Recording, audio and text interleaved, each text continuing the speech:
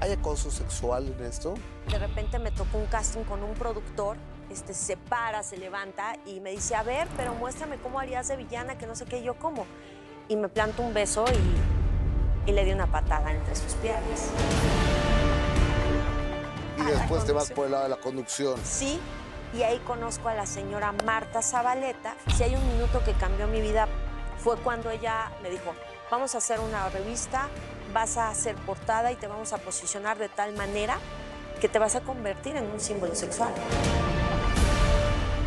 En teoría uno se casa para estar a todo dar con alguien, ¿no? Sí. Y a ti ese eh, a todo dar se te acabó. Tú, él iba manejando tu camioneta, la puerta abierta, te quería lanzar del carro. Sí, y iba sostenida con la puerta abierta todo ese tramo. Esa vez sí puse el celular. Mi mamá estaba del otro lado. Porque yo dije, si me mata, por lo menos mi mamá va a saber quién lo hizo. Por cinco, perdimos tres. ¿Tenés ese Hace 12 años.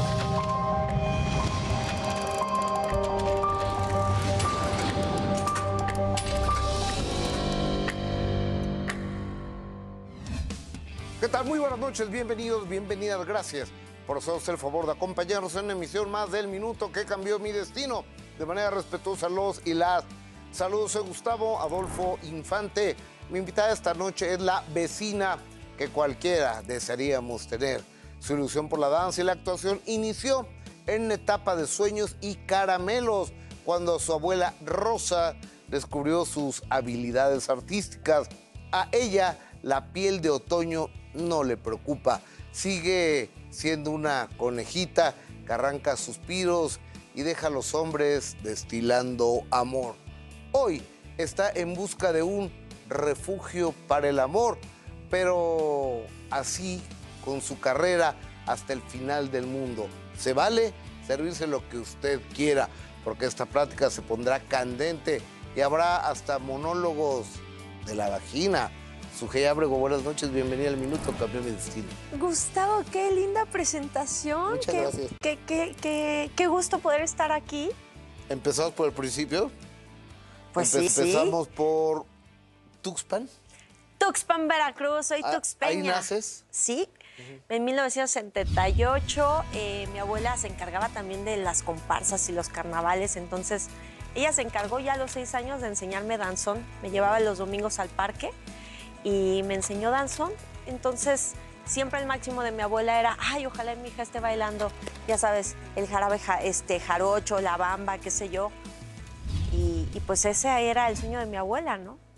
¿Cómo, cómo era Tuxpan? ¿Cómo cierras los ojos, eh, Sujei? ¿Cómo recuerdas Tuxpan, Veracruz? Tuxpan para mí era todos los veranos, eh, de la primaria, todos los veranos, porque la pasábamos allá. Es un lugar muy agradable, es muy cercano a la ciudad. En ese entonces hacíamos como ocho horas porque había mucha curva y teníamos que pasar la ceiba y era como que, ay, abominable. Pero llegar allá era un remanso, estar consentida por mi abuela. Además, mi abuela en, verano me llevaba, ¿qué quieres hacer? Yo le decía, yo quiero ir al ballet. Decía, pero a mí me gusta el folclore. No, pero yo quiero el ballet. Entonces me llevaba con una maestra que se llama Rosita, muy conocida ya. Y además, eh, ella me enseñó a jugar dominó de chiquita. Pero lo que más recuerdo era esos veranos porque se sentaba en la tarde en el pórtico y me decía, o el Porsche, y me decía, a tomar el fresquito y nos sentábamos a ver las novelas.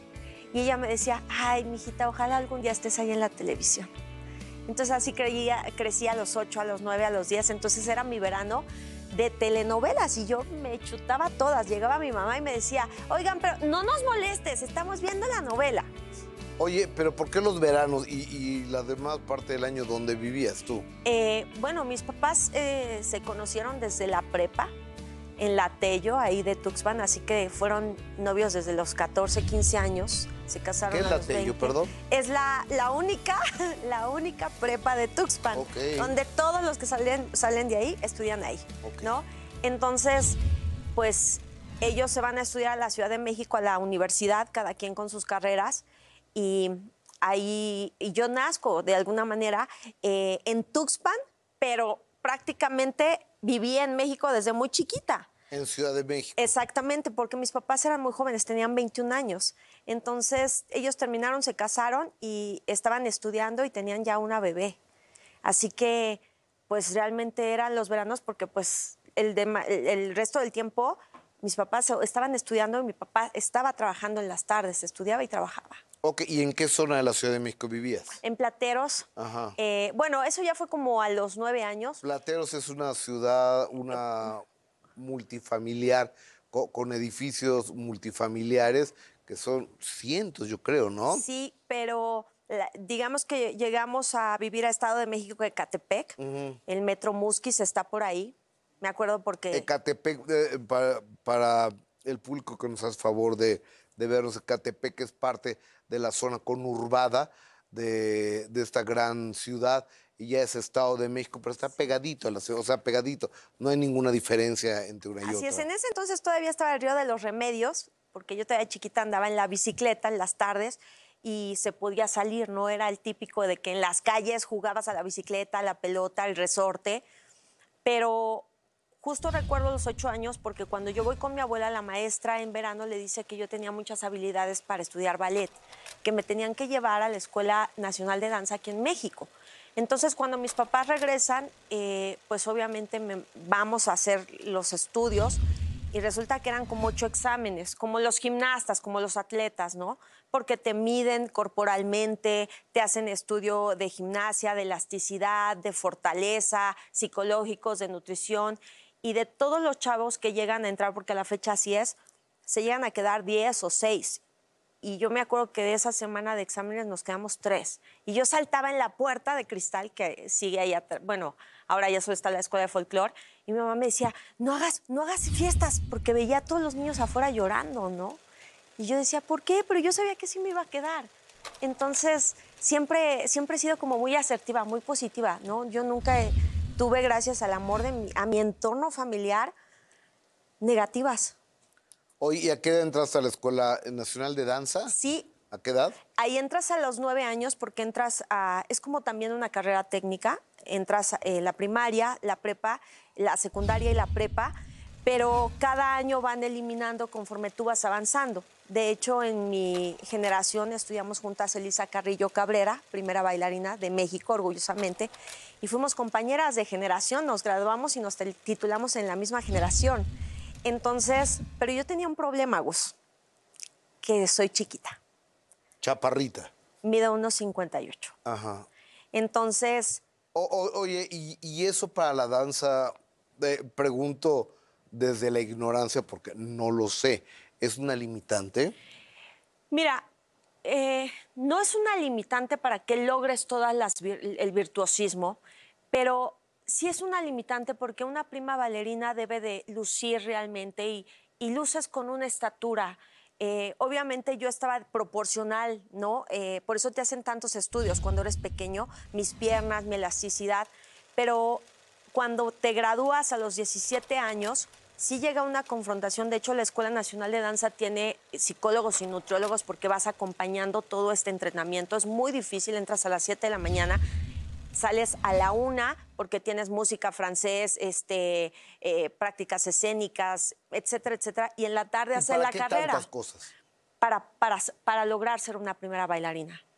Te preparas en todos los aspectos y en la tarde te dan la escuela, la primaria, la secundaria y la preparatoria, pero con ética, estética, o sea, con materias O sea, acordes ahí a la cultural. todo. Sí, así O sea, es. tú la secundaria y la preparatoria en la Escuela Nacional de Danza. Exacto, que ahora es el Centro Nacional de las Artes en Río Churbusco. Le decíamos la licuadora porque la escuela parece una licuadora porque era puro cristal. Y cuando yo tengo esta, conforme vas creciendo, te van dando personajes de mayor jerarquía. Pero yo con mi estatura, pues la verdad es que sí llegó un momento en que siempre, a lo mejor puedo llegar a ser un corifeo, es decir, los cuatro cisnes. ¿Por qué? Porque no vas a tener un partner de acuerdo a, o sea, tienes que ver ¿Vas esas un limitantes. qué? Un- una pareja, un partner, Ajá. este, ¿no? Como requeriría una primera bailarina. Entonces, digamos que ya a los 18 años tú tienes que tomar una decisión de hasta dónde vas a llegar como bailarina, hasta dónde tu cuerpo y tus limitantes físicas, porque no son de, de capacidad intelectual, son físicas, te van a permitir crecer. Y eso implica un retiro muy, muy temprano, quizá a los 30, a los 27 Oye, es años. que yo me quiero suponer que esto debe ser como el básquetbol, ¿no? Que de repente empiezas a jugar tu básquetbol Sí. Con tus amigos y llegan algunos que son, llegan a la selección, a la selección del Estado a la selección nacional, y uno se quedó chaparrito. Entonces, ¿qué pasa ahí? Yo creo que es eh, uno de los minutos que cambian tu destino. Con esta historia regresamos. Ella es Sujei Abreu.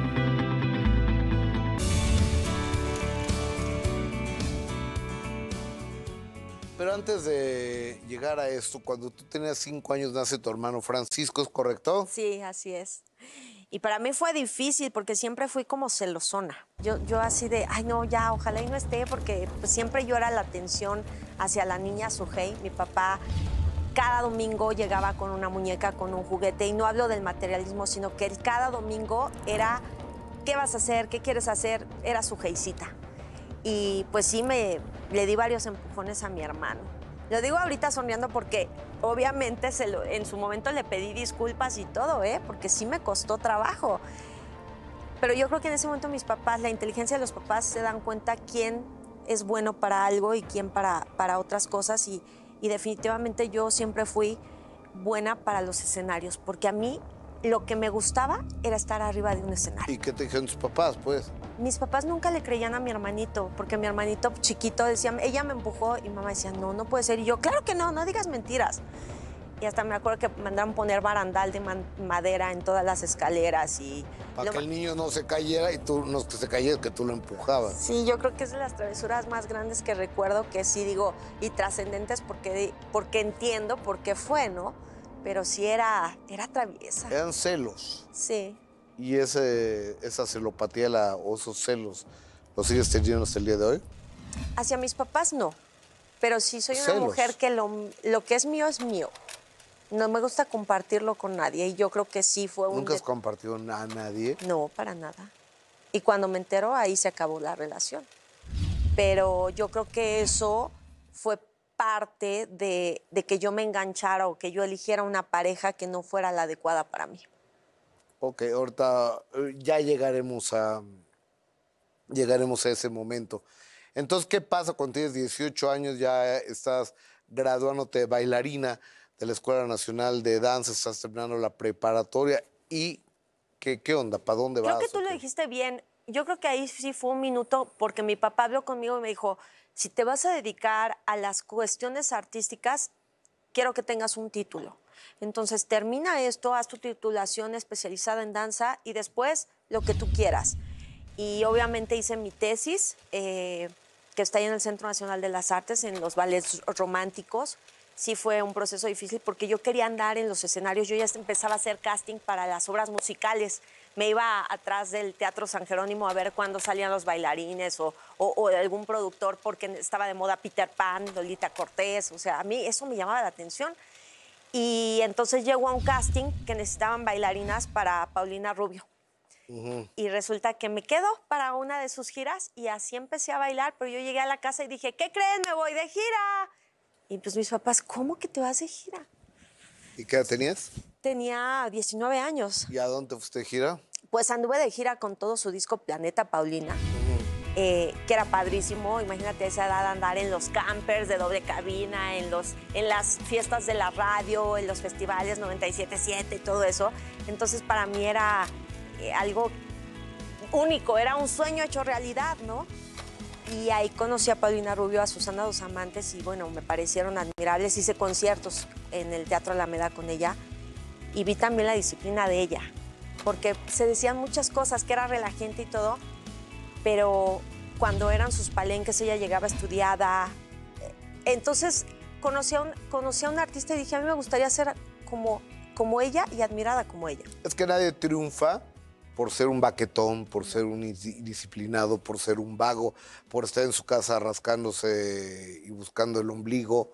O sea, la gente triunfa porque dedica horas y, Y horas. horas. y horas a repetir una canción y hasta que salga perfecta, ¿no? Y es que así lo viví en mi carrera. Tú sacabas una pirueta o 34 fuetes practicando muchas horas.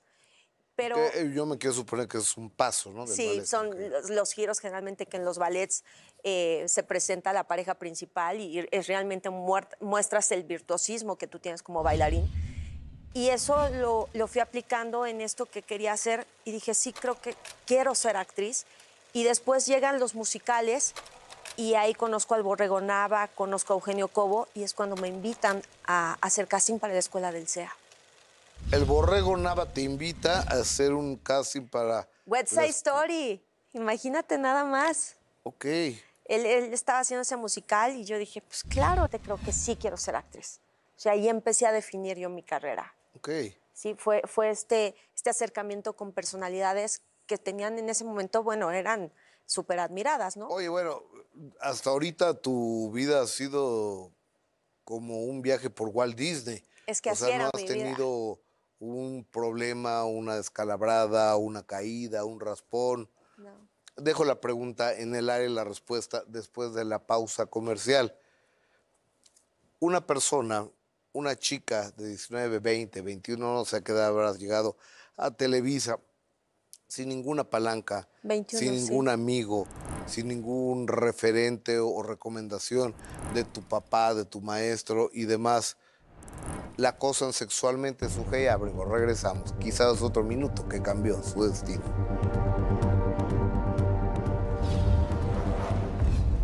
Y después te vas por el lado de la conducción. Sí, y ahí conozco a la señora Marta Zabaleta. Si hay un minuto que cambió mi vida, fue cuando ella me dijo, vamos a hacer una revista, vas a hacer portada y te vamos a posicionar de tal manera que te vas a convertir en un símbolo sexual.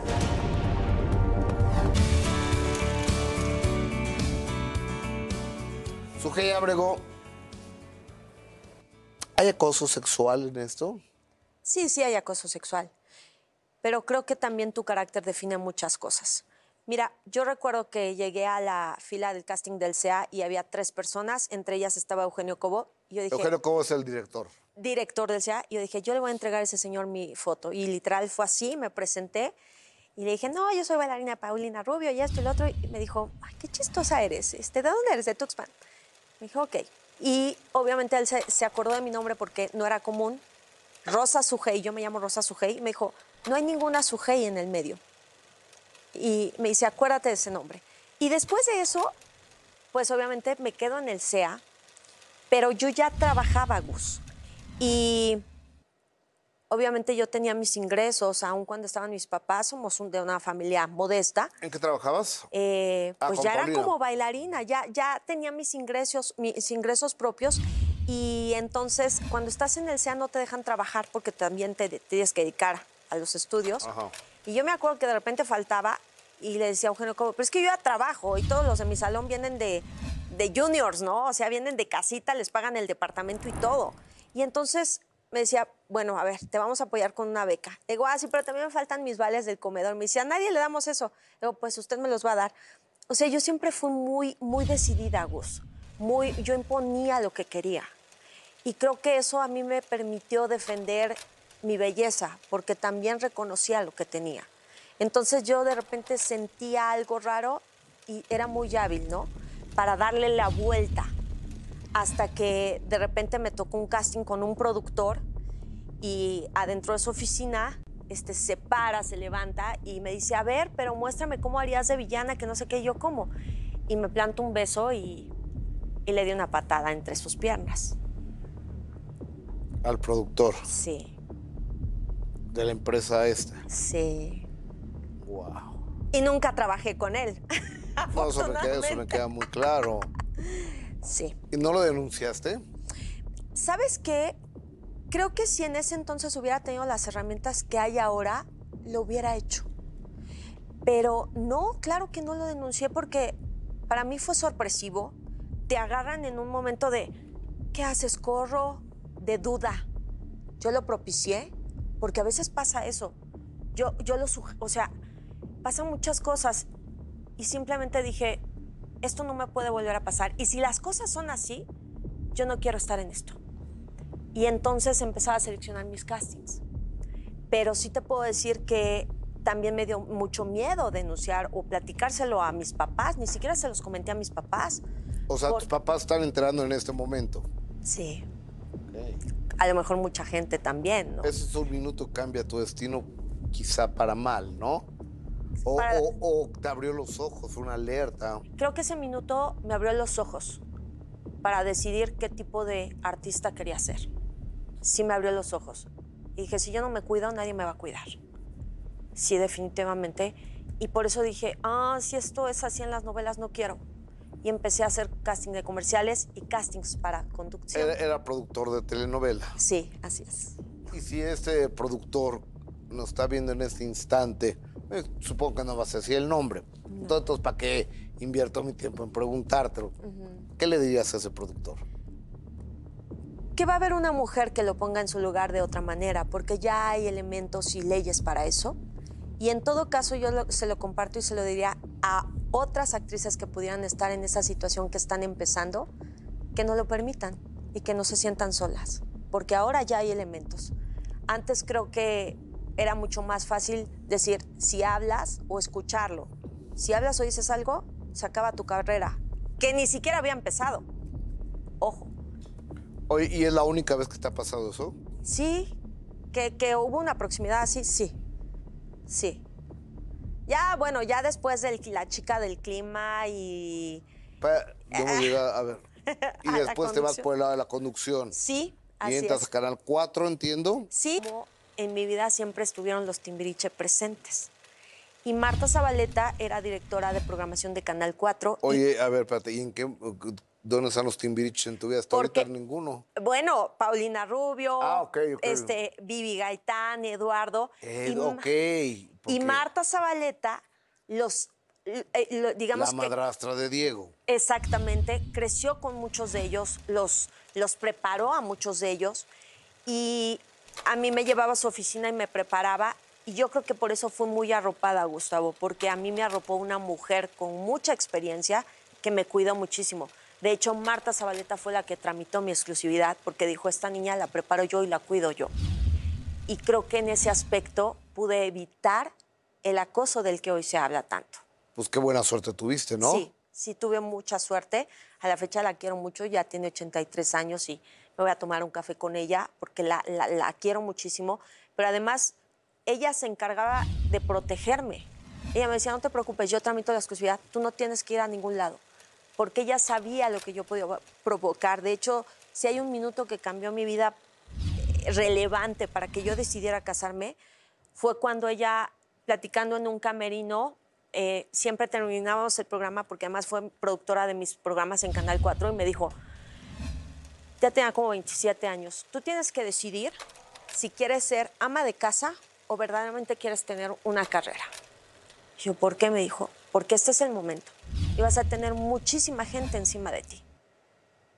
Yo, ¿cómo? Vamos a hacer. y- Y obviamente ella estaba pensando en este, en este personaje de la chica del clima y me dijo, vamos a hacer una revista, vas a hacer portada y te vamos a posicionar de tal manera que te vas a convertir en un símbolo sexual. Entonces, yo no entendía. Ok, te has convertido en un símbolo sexual, ahí la dejamos. ¿Y qué tiene que ver tu marido con el símbolo sexual? Su y Abrego, regreso.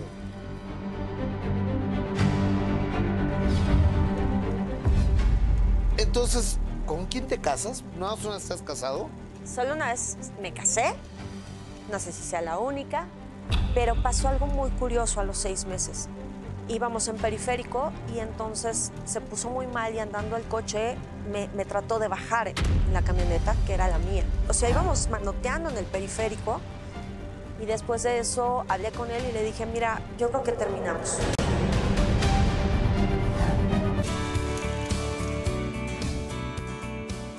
Estamos de regreso a la presencia estelar de Sujei Ábrego.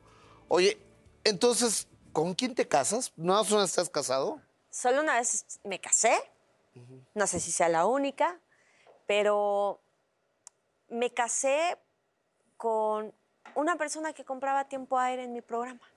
Enrique Durán. Sí, así es. Ok, ¿y él a qué se dedica? Bueno, se dedicaba a diseñar motos en ese entonces y buscaba espacio para eso. Pero justamente cuando te estaba contando que en qué tuvo que ver o, o cómo interviene en mi carrera, fue porque... Marta Zabaleta. Sí, y Enrique. Porque como ya había esta planificación de posicionarme como conductora, ya venía, ya se había hablado con una editorial que era también de Televisa Maxim, entonces después de esa vino H, luego vino Record, Trajes de Baño, y después para que yo pasara de, la, sí, de la chica del clima, sí, eh, digamos que buscar una estrategia también en editorial para que mi imagen estuviera presente. Eh, me pasan del... O sea, como sexy. Sí, de, la imagen del clima a una conductora de los programas del mediodía, que era de concurso Se Vale, y empiezan a diseñar un programa para mí que tenía que ver con concursos, con alegría, y se llama De Poca.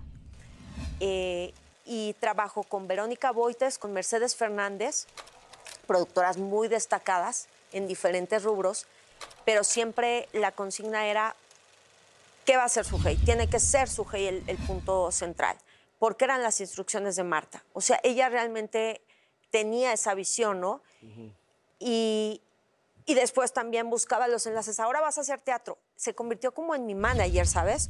Y yo, teatro, sí. Están ahorita monólogos de la vagina. Hay que entrar ahí. Hay que hacer orgasmos, la comedia. Entonces, ella buscaba como esas relaciones y ya yo iba, buscaba el casting, lo hacía y me quedaba. Pero después de, yo creo que cinco o seis años así, yo estaba agotada y me sentía cansada y sola.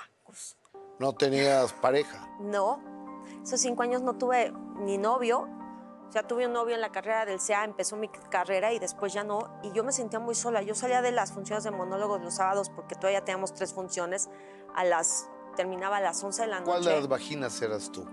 Porque hay eh, tres vaginas. La gritona. Ah, la gritona. La que hace gemidos. Exactamente, la que hace gemidos. Pero yo salía de las funciones y decía, algún día voy a ir a mi casa o algún día a estas horas voy a estar cenando con mi esposo. Yo anhelaba eso. Ya me sentía muy sola, descansaba los domingos y el lunes otra vez estaba el programa y en la tarde actividades, entonces me estaba agotando mucho. Y me acordaba de esa plática que me decía Marta, tú tienes que decir qué quieres. Y entonces, pues empecé a voltear a ver a una persona que compró espacio para, para mi programa y empecé a salir con él. Empecé a salir con él porque dije, yo también quiero tener alguien con quien salir. Y creo que al mes luego, luego salieron las revistas de que yo estaba saliendo con alguien y me acuerdo que me enojé mucho con él porque le dije, ¿tú hiciste eso? O sea, es muy raro que a mí me sacaran un paparazzi si no es que estuviera programado. Realmente me cuidaban mucho como imagen. Y me dijo, no, pero en todo caso... que quién va a programar un paparazzi? Ay, por favor, luego se ponen de acuerdo algunos artistas. Aquí estoy, aquí estoy. Sí, me ha pasado, me ha pasado. O sea, te han me ha pasado que he visto algunas amistades que avisan o que están y yo, ah, mira. Sí, sí, entonces también hay que cuidar las amistades que uno tiene. ¿no? Porque a veces ellas mismas son las que te traicionan. No lo había entendido hasta que me casé. Y, y él me dijo, bueno, pero si hubieran dado con alguien me daría mi pena también. Y eso como que dije, pues tiene toda la razón y empecé a salir con él y tuvimos un noviazgo muy breve de seis meses. En los seis meses me, me, me dio el anillo, pero pasó algo muy curioso a los seis meses. Él tuvo, fuimos a una fiesta y en esa fiesta se pasó de copas, íbamos en periférico y entonces se puso muy mal y andando el coche me, me trató de bajar en la camioneta, que era la mía me trató de bajar del coche andando ebrio. ¿Y quién manejaba? Él. No me dejaba manejar el coche, estaba súper necio y, y me acuerdo que al día siguiente lo o sea, íbamos manoteando en el periférico y y obviamente me este como que reaccionó y llegamos a mi casa, yo vivía en Desierto de los Leones, no vivíamos juntos todavía. Y me acuerdo que lo dejé afuera, o sea, no lo invité a pasar ni nada. Y después de eso hablé con él y le dije, mira, yo creo que terminamos. Esto yo no lo puedo permitir. Y sí terminamos y me fui a un crucero familiar donde él iba a ir. Y me dijo, si yo me interno en una clínica, ¿me darías una oportunidad? Y le dije, lo voy a evaluar. Y él se internó en Oceánica. Y cuando regresamos al año siguiente, me buscó, obviamente estuvo ahí internado, me escribió unas cartas, me dijo que él iba a cambiar. Yo no sabía que él tenía este problema tan fuerte. ¿Dejó de tomar? dejó de tomar y me casé con él a los cuatro meses. Y pues ahí fueron tres años súper padres. Y digo tres años porque y vámonos a do- no sé dónde, y vámonos a de viaje. Cada fin yo compré un penthouse que estaba pagando con mi exclusividad y pues para mí fue fácil. Pues ahí vamos a quedarnos aquí porque yo lo estaba estrenando, ¿no? Entonces la casa también le había puesto su hey. Y muchas cosas. ¿Y él qué hacía? ¿En qué trabajaba o qué? Puso su negocio de motos, pero yo le decía, oye, ¿por qué tus ¿Qué no deja dinero o qué? Sí, ¿por qué tus ingresos nunca llegan aquí? Pero yo ganaba también, Gustavo, que yo nunca le pedí un centavo. Yo cometí la torpeza de nunca hablar de dinero con mi pareja. Y digo torpeza porque ¿Tú mantenías la casa sí, por supuesto, se mantenía con mi exclusividad y con muchas cosas. y le das dinero a él? Con esta, con esta pregunta regreso y después no sé qué pasó en el Inter, pero ella lo demanda a él porque le debía millones y millones de pesos. ¿Qué fue lo que sucedió con esta historia? Regresamos. Ojeya.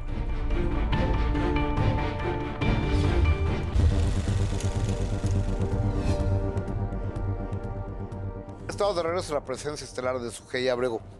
Si bien el matrimonio no es un viaje a Las Vegas, ¿verdad? A la ciudad Sí, del, eh, del entretenimiento, pero pues, en teoría uno se casa para estar a todo dar con alguien, ¿no? Sí. Y a ti ese eh, a todo dar se te acabó. Se me acabó y no porque yo tenía muchas alfombras rojas, yo seguía trabajando, estaba en TV de noche, ya me habían subido de nivel, por así decirlo, estaba en un programa en la noche con Coque. Yo estaba creciendo, pero no me estaba dando cuenta que no estaba, que mis fondos o mis ahorros no estaban dando, ¿no? Porque se estaban fugando. Y, pero obviamente como, como mi marido se volvió mi llavero, yo estaba feliz, ¿sabes? No, no me no decía, bueno, pues así tiene que ser, a lo mejor así es. Con el tiempo entendí que no, si un hombre te puede dar un departamento de 6 mil pesos, ese es el que aceptas. Y tal vez por eso ahorita sigo sola y voy a estar sola un rato. Pero vuelve a pasar otro episodio. eh, hay unos eventos que hacen en el Hotel del Cano, de esto nunca he hablado, pero lo comparto porque En Acapulco, Sí, porque cuando perdonamos no nos damos cuenta del daño que nos llegamos a hacer. Eh, fue una- un festival de paellas y después había una reunión de los hijos de una familia muy querida, la familia Beiruti, y fui a otro evento. Y regresando en la vi que Enrique había tomado demasiado. en Acapulco también de la familia Beiruti. Sí. Fuimos a este evento, era como el cumpleaños de uno de los hijos. Y después del Festival de las Paellas nos vamos a este evento, que, que esto está como en la zona hotelera y esto estaba como en Barra Vieja. Y entonces ya noto que ya se le habían subido las copas, como mucho tiempo no le había pasado. ¿Pero no había estado en Alcohólicos Anónimos? Sí, pero- Digo, en, en Oceánica, Sí, perdón. sí, por eso es que no había tenido ese comportamiento antes. Pero una vez que tienes un comportamiento así, lo fui entendiendo con las terapias, te pierdes, ¿no? Bueno, el alcohólico. Y, y entonces empezaba a reír, o sea, ya dije, ya perdió, le dije, vámonos. Y nos subimos a mi coche, no me dejó manejar, y todo el camino de Barra Vieja hasta la costera, yo estaba... Que, es, una, es una carretera larga, porque hay que agarrar Boulevard Barra Vieja, llegar a Boulevard de las Naciones, bajar Boulevard de las Naciones, agarrar la, eh, la escénica, que es una carretera de muchas curvas, hasta llegar a, la, a la, a la costera Miguel Alemán. Exacto. Entonces, pues es un tramo como de 15 kilómetros. en tiempo. Y todo ese tiempo él me tenía con la puerta del coche abierta y yo iba casi en el piso de la carretera. Te iba con la puerta del carro abierta. Sí, él intentaba aventarme del coche. A ver, suje- a ver, tú, él iba manejando tu camioneta, la puerta abierta, te quería lanzar del carro. Sí, y iba sostenida con la puerta abierta todo ese tramo, las curvas. Es una, eh, es una carretera muy complicada donde hay este Vados, vados, se, se- se puede, se puede ir uno, se va de frente y te vas al mar. Sí. Ay, Dios. Esa vez mis papás nos acompañaron, pero se quedaron en otro hotel. Dios mediante llegamos al hotel. Lo subí a la habitación y me fui al hotel de mis papás. Y al día siguiente yo no le dije nada a mis papás, sentía demasiada vergüenza. Y al día siguiente íbamos todos en el coche con un silencio terrible. Yo entré a la habitación del hotel porque subí por mis cosas y le dije, casi me matas. Y me dijo, perdóname, pero no me acuerdo de nada. Y en ese momento le creí porque estaba muy arrepentido, pero dijo, es que no me acuerdo de nada, no me acuerdo de nada. Eh, ahí fue la primera vez que yo intenté divorciarme. Y, tuvimos una separación de seis meses. Eh, yo todavía lo recuerdo porque la verdad nunca, ni siquiera a mis amigas se los he contado porque, porque realmente quiero pensar que no se acordaba de nada. Puede ser que no se acordara, pero te, te quiero decir una cosa. No hay borracho que trague el lumbre, también acuérdate de eso. Lo O entendí sea, después. Así este, está su madre, dale un vaso de tiner a ver si se lo toma. No se lo va a tomar, ¿verdad? Exacto. Y retomamos la relación, yo me guardé esto. Y el tercer intento, que fue el mismo episodio, fue regresando igual de una, festi- de una fiesta de unos amigos en Puebla. Y volvió a hacer lo mismo. Me acuerdo que esa vez sí puse el celular. Mi mamá estaba del otro lado. Puse el celular en el costado del asiento. Tú lo pusiste. Porque yo dije, si me mata, por lo menos mi mamá va a saber quién lo hizo. Eh, mi mamá estaba escuchando todo. Y te insultaba, me supongo. Sí, por supuesto, me insultaba, me sangoloteaba del coche. Me acuerdo que paré en un Oxxo, se paró una persona a preguntarme si estaba bien y yo le dije, estoy bien, no se preocupe, porque tenía mucho miedo, porque él estaba muy sacado de sus casillas. Me decía que me odiaba. Ahí sí me dijo que me odiaba. Y me acuerdo que él se bajó del coche y en ese momento le agarré el teléfono y le dije, mamá, estoy en un lugar donde no, no veo nada, donde meterme, no sé qué hacer. Y solo me dijo, métete en el primer motel que puedas. Cuando él se baja, yo me cambio del asiento para agarrar el coche. Este, intento arrancar el coche, él se sube, se alcanza a subir y le dije, mira, no vamos a hacer nada, no me voy a ir, pero no puedo manejar ni tú. Vamos a meternos a un motel. Había un motel en, esa carretera.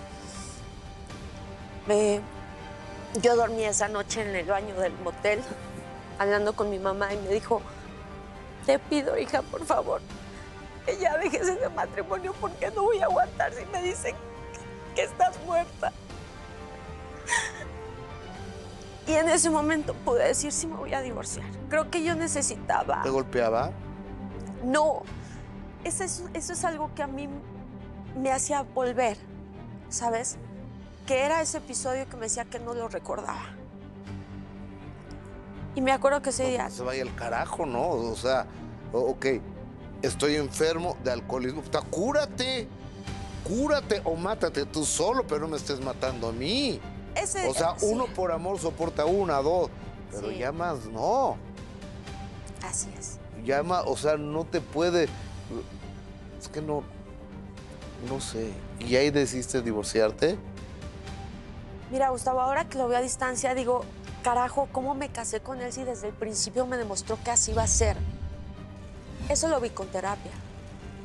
Y de ahí, pues ya, eh, ya nosotros ya no vivíamos juntos. Así que cuando salieron después algunos reportajes en, tel- en las revistas, yo de hecho hasta dije, ay, yo estoy en Canadá. Yo ya no vivía con él. Te divorcias de él. Pero aparte, tú tenías una deuda. ¿Por qué tenías una deuda? ¿De, do- de- de en qué te endeudaste? Ah, porque en el transcurso de ese tiempo eh, él trataba de sostener este negocio para vender motos y buscaba socios, les pedía dinero para poder tener este negocio.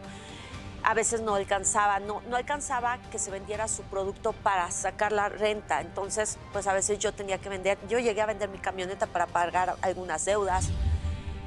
Eh, después me enteré que su sueldo era muy básico, uno de los ex, socios que a la fecha me sigue apoyando porque me, me pasaba información para que pudiéramos avanzar en el divorcio y localizarlo, en los trámites del litigio, eh, porque sabía de estas cosas y sabía que además consumía otras cosas.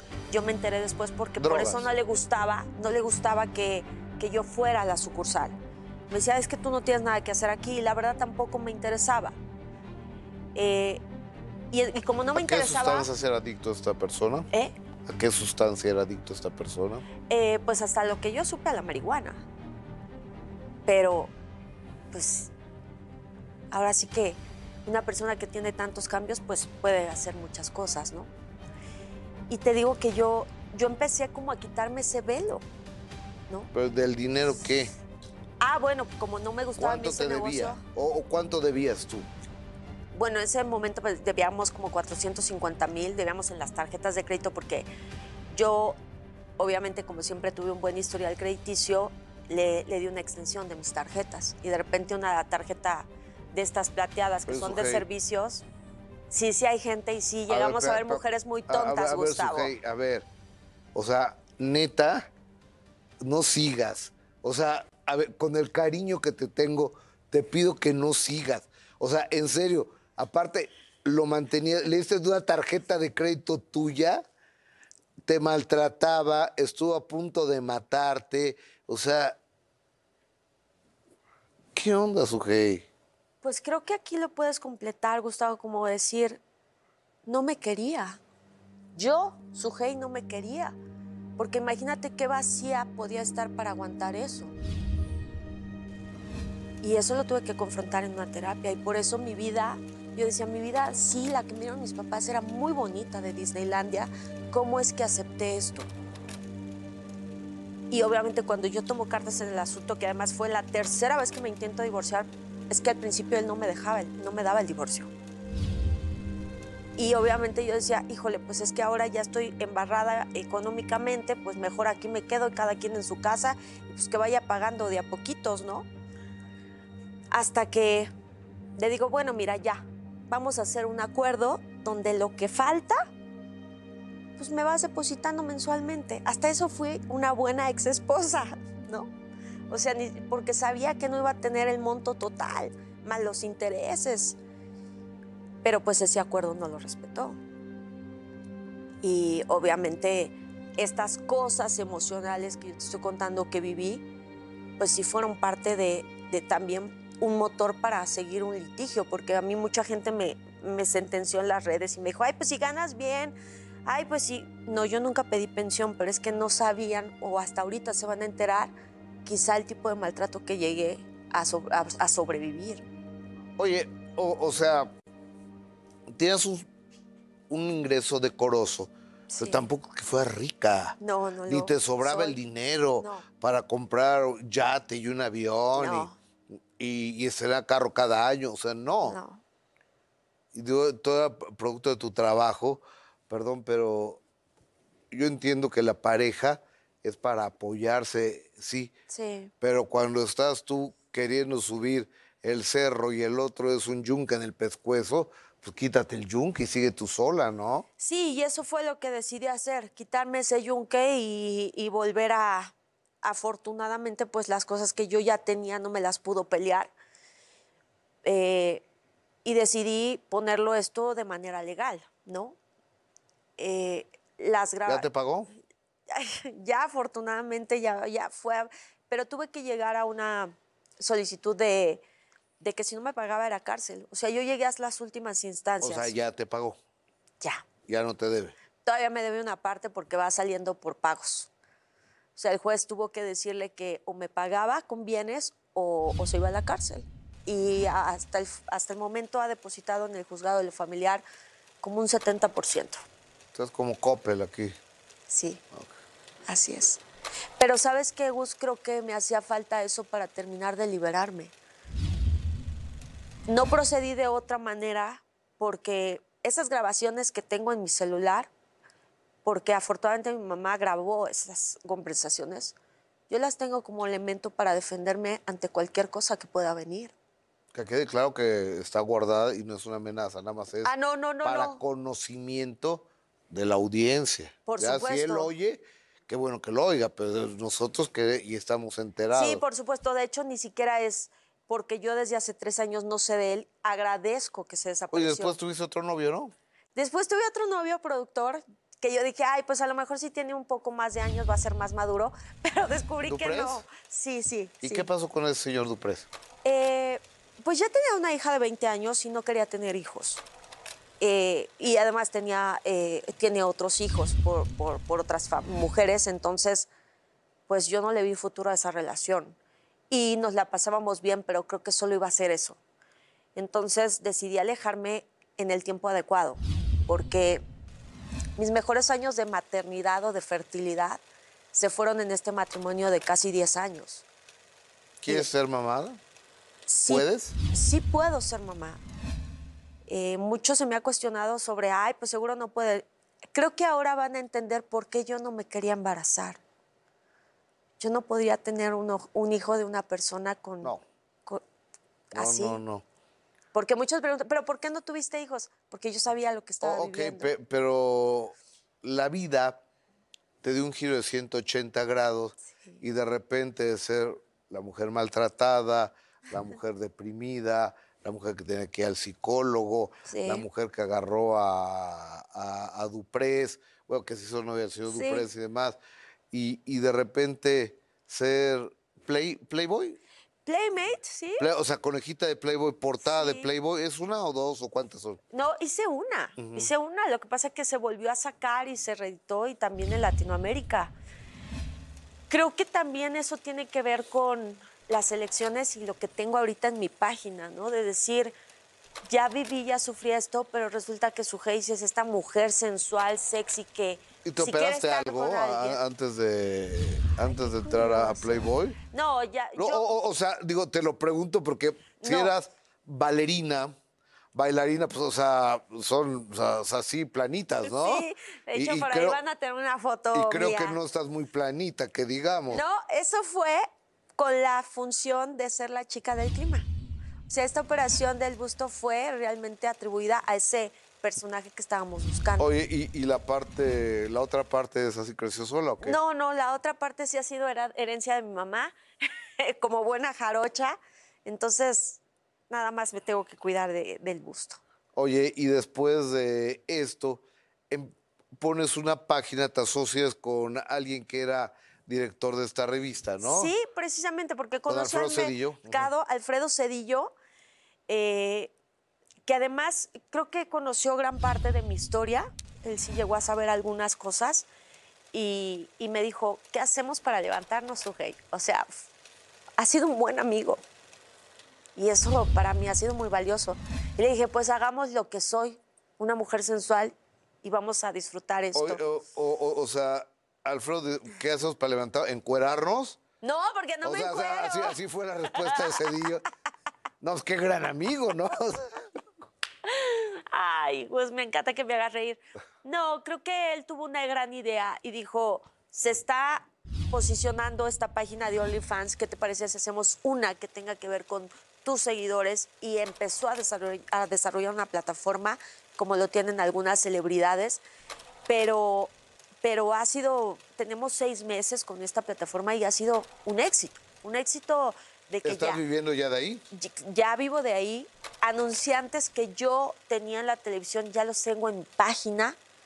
Entonces, ya ahora soy modelo, vendedora, mercadotecnia. eh, voy a, estamos ahorita, ya registramos la marca de Sujeya Abrego a nivel Y internacional. es la que se quita la ropa también. Este, en la revista. Sí, o, o sea, no. En el OnlyFans. es que mi página VIP no llega a ser pornografía. No llego al desnudo explícito, Gus. ¿Qué diferencia hay? en que puedo insinuar suavemente, sutilmente, pero no llego a mostrar algo que a mí, yo estoy en la línea en lo que a mí me hace sentir incómoda, eso ya no lo hago. Porque además, Eh, eso, eso nos da mucho gusto, pero ahorita un señor y una señora que estén en su casa, ah, qué bien, ¿y cuál es, dónde la señora se sienta disgusto? O sea, eh, ¿en qué momento? eh, Pues en el momento en el que me reservo ciertas cosas para, para mi vida íntima, para lo que pueda disfrutar con alguien de mi entero conocimiento, aceptación y amor. Aún no ha llegado esa persona, pero, pero hay cosas que me reservo para mí. Entonces, y el erotismo y la sensualidad siempre, siempre me ha gustado, ¿no? Por eso a lo mejor traigo una falda corta o el escote, porque yo soy así por naturaleza. No es que me impongan este personaje. Así soy yo. A ver, Sujei,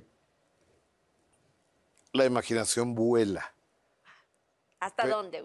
Muy, muy alto, o sea, no, no, no tiene límites. El límite de la imaginación es el cielo mismo. Sí, sí. Pero el bolsillo no alcanza. Entonces, uno tiene que decidir a qué OnlyFans le va a pegar. Sí. ¿Cuánto vale el de Sujei Abrego? Eh, mi página Sujei Abrego VIP cuesta 15 dólares, como 380 pesos mensuales. Y las prendas que uso en las fotos, que se ha dicho que si vendo mis calzones, son las prendas de la lencería, la vendemos de 150 a 300 dólares. Ok, ahora. Ay, por ahí escuché, uh, eso me gusta provocar, uh. Oye, ¿y de aquí a dónde vas? O sea, ¿qué, qué, pasa con, tu vida y tu carrera? Porque eres actriz. Sí, yo soy actriz. tienes 43 años. En este momento entiendo que no tienes pareja. Sí, no. ¿Y, hacia dónde va, va tu vida? Mira, yo ahorita eh, con la pandemia, con todo lo que viví este, al divorciarme, que sufrí una fuerte depresión que me provocó de verdad estar al filo así de, una cornisa. ¿En la pandemia? Eh, no, antes de la pandemia, justo cuando empezó el proceso de divorcio. Ahí fue cuando yo dije, no, yo necesito ayuda. No, pues dale, yo había hecho una fiesta cuando me separé de este güey, ¿no? Con, con lo que te costaba. No, porque justo en ese momento fue cuando viví la crisis que, hasta en mi cuenta me, dejaron 50 pesos. Con una hipoteca de 21 mil pesos. ¿Y quién te robó eso? Pues la persona que tenía acceso a la cuenta, ¿no? O sea, tu marido. O sea, aparte de todo, te robó. Esa parte no la. Esa parte no, no. Sí, así es. A veces yo no tenía dinero para venirme a hacer unas menciones, un trabajo que yo tenía este, y era muy difícil, era muy difícil. Muy difícil aceptar que una mujer que le dieron todos sus papás no tuviera nada. Y estaba muy enojada conmigo, Gustavo, por haberme permitido tanto abuso. Con el paso del tiempo, eh, yo estuve un mes en una clínica. Un diciembre, el diciembre fue un amigo a verme, un amigo actor eh, para que yo no estuviera sola en esa clínica. Y con el paso del tiempo entendí que mi dolor era tan grande que quería acabar con mi vida. O sea, es un dolor tan desgarrador el verte abandonada, dejada, desprotegida, burlada, este, con todo tu patrimonio o sea, era algo que yo no podía soportar. No, no podía soportar que me vieran a la gente. ¿En qué clínica estuviste? Estuve en una clínica que se llama Clínica Integral de la Salud en Veracruz. ¿Es para problemas emocionales? Sí, es para problemas psiquiátricos. Para personas... ¿Tú te metiste sola? No, pedí ayuda. No, yo, yo pedí ayuda y obviamente cuando me atendieron y y, me diagnosticaron con ese brote que tuve. ¿Brote de qué? Es, es un brote psicótico. Eh, mira, yo, yo me acuerdo que yo vivo en un cuarto piso, en una terraza, y yo me acuerdo que la última vez que se fue Enrique de la casa, que le dije, oye, es que él me dijo que, tenía, que ya iba a hacer su negocio en China y todo, le dije, pero tenemos que ver cómo Qué bueno, un chorro de distancia aquí allá. este, yo, me acuerdo que le dije, pero tenemos que hablar de cuáles van a ser los acuerdos económicos con los que te vas a comprometer. Sí. A mí me cayó el 20 como a la semana y dije, creo que me abandonaron. Y estuve muchos días llorando y de ese momento solo recuerdo que estaba en la cornisa Y nada más recuerdo que, que Juanita me hizo así del suéter. ¿Quién es Juanita? Es la persona que trabaja conmigo desde La, hace la muchos persona años. del servicio doméstico. Sí. Me hizo así y me senté y en ese momento empecé a llorar y le dije, llama a mis papás porque creo que tengo ayuda. Yo creo que fueron, no sé si como 20 o 15 minutos que dejé de pensar.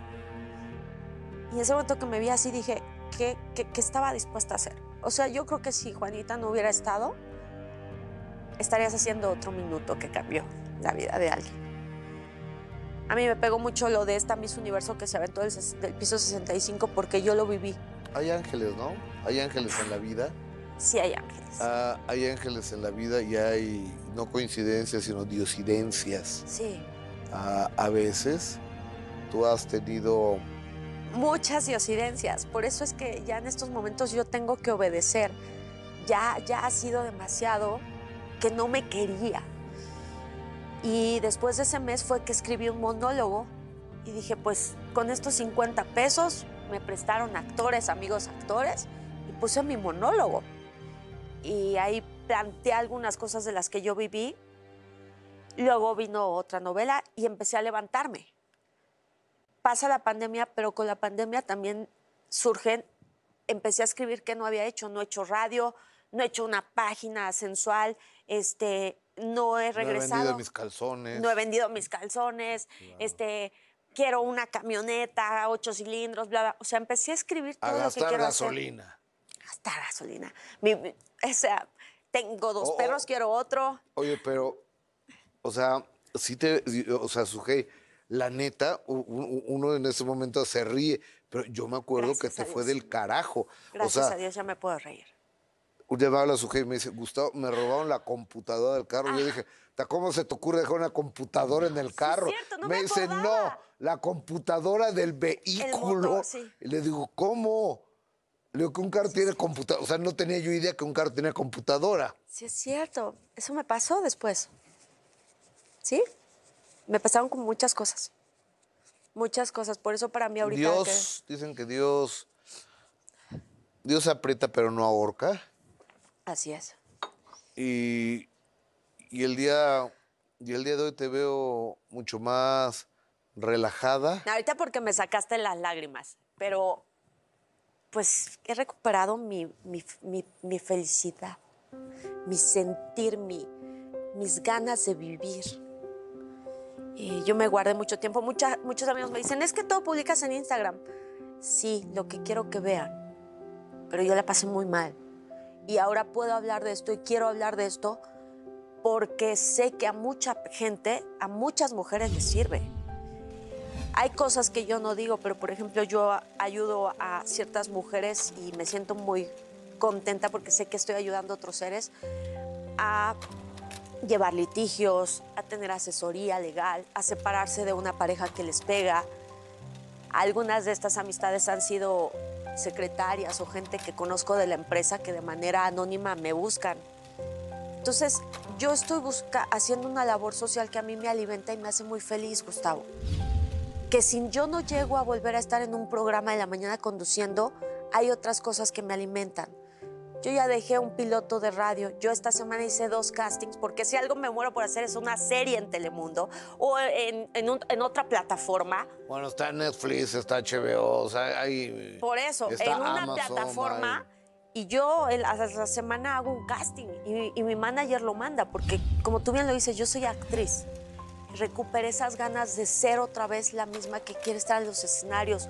Ahorita estoy ensayando eh, el musical Amor de Tres y nos vamos a Tampico, entonces pues ahora me van a ver como vedette. Entonces estoy llenándome de esas cosas que dije, ay, no he hecho esto. Y esas son mi prioridad Claro. ahora. Qué bueno, Sujei. Oye, gracias por estar aquí. Me la pasé muy bien, como siempre, contigo. Gracias. Eh, el mayor de los éxitos. No pierdas la buena costumbre de seguir haciendo el OnlyFans y vendiendo tus chones. No, chones, pero también el bralet también se da. Ok. O sea, ya, ya, ya lo doy completo, porque digo, pues para que tengan el conjunto. Hasta siempre, sí, gracias. Gracias, sonrían, sean felices. Te quiero. Ella es su yo a ti. Ella es su Abrego, yo soy Gustavo Adolfo Infante. Si Dios nos presta vida y ustedes su amable presencia, próxima semana, mismo horario, mismo canal, tenemos otro minuto que cambió mi destino. Muy buenas noches. Muchas, muchas gracias. Bravo.